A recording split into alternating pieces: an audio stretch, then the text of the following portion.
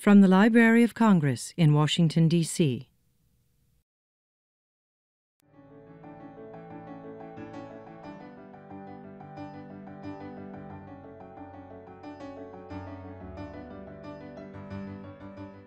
I'm here representing the Dollywood Foundation, and uh, the Dollywood Foundation is Dolly Parton's foundation.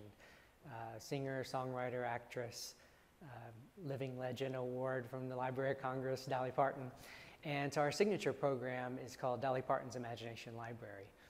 And Dolly created the Imagination Library really to instill a love of learning and a love of reading in children from a very early time in their lives.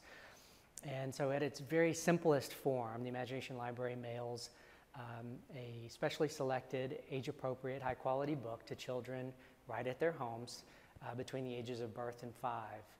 By the time they turn five and graduate from the program, begin school, they'll have their very own home library of 60 books.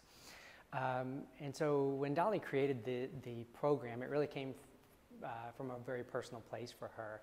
She grew up very poor in a, in a rural part of Tennessee, and uh, her father was illiterate. He couldn't read nor write. And so she often describes him as one of the wisest men that she's ever met, but um, at the same time, she witnessed firsthand how uh, being functionally illiterate held him back and made him struggle in life. So uh, when she went on and became big and famous, she wanted to do something, uh, give her gift uh, back to children.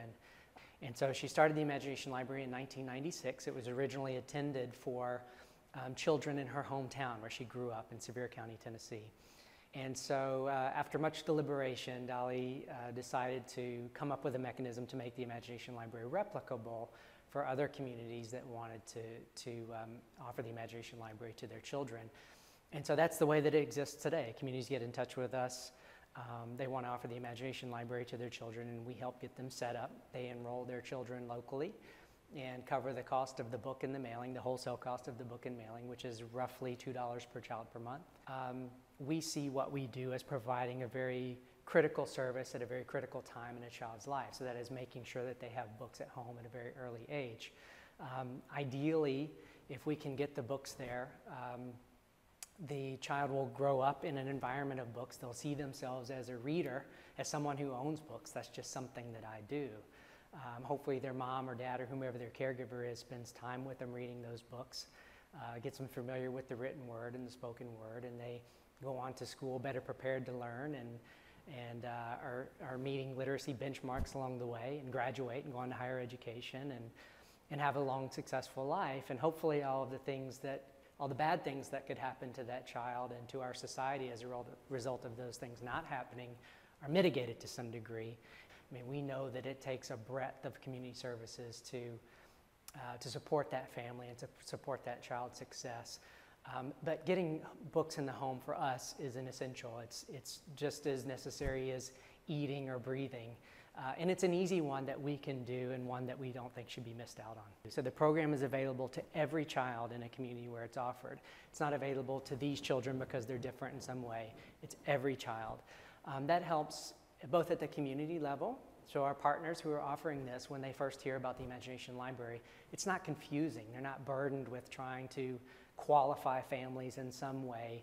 You offer the program, you offer it to all children. So the Imagination Library um, unifies communities. It brings communities together around children and books. Um, it's something that we believe all children should do, um, not just these children. We think it's a gift that all children should participate in. And so, what we'll see is when communities offer the program, we'll see that unity start to happen.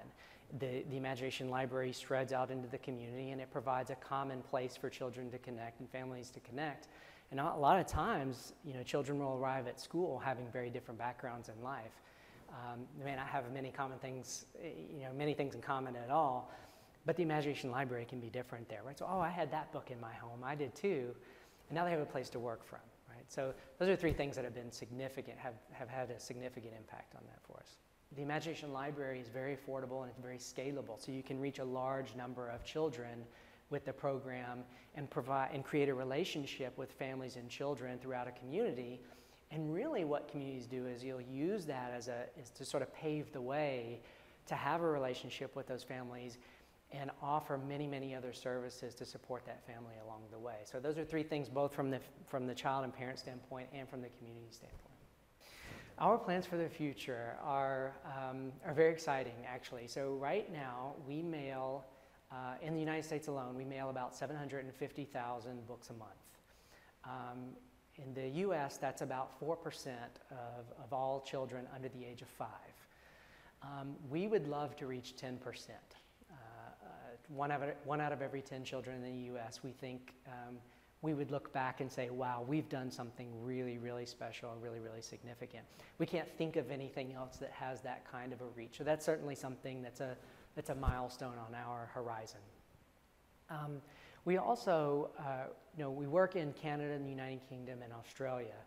We also have a lot of interest from other countries as well. And so right now we're looking at other countries who are interested in starting the Imagination Library, certainly with our eye on some developing and some emerging countries. And uh, lastly is a unified research effort. So there's been a lot of research done on the Imagination Library and its impacts both in um, uh, the amount of reading that happens in the home between the child and the caregiver or mom and dad, uh, but also what are the impacts when that child arrives at school.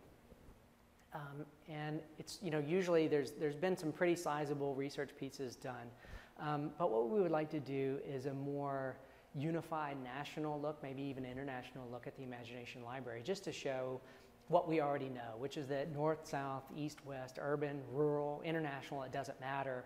If you get age appropriate books into the hands of children and families from the very start of their lives, you will see significant impacts.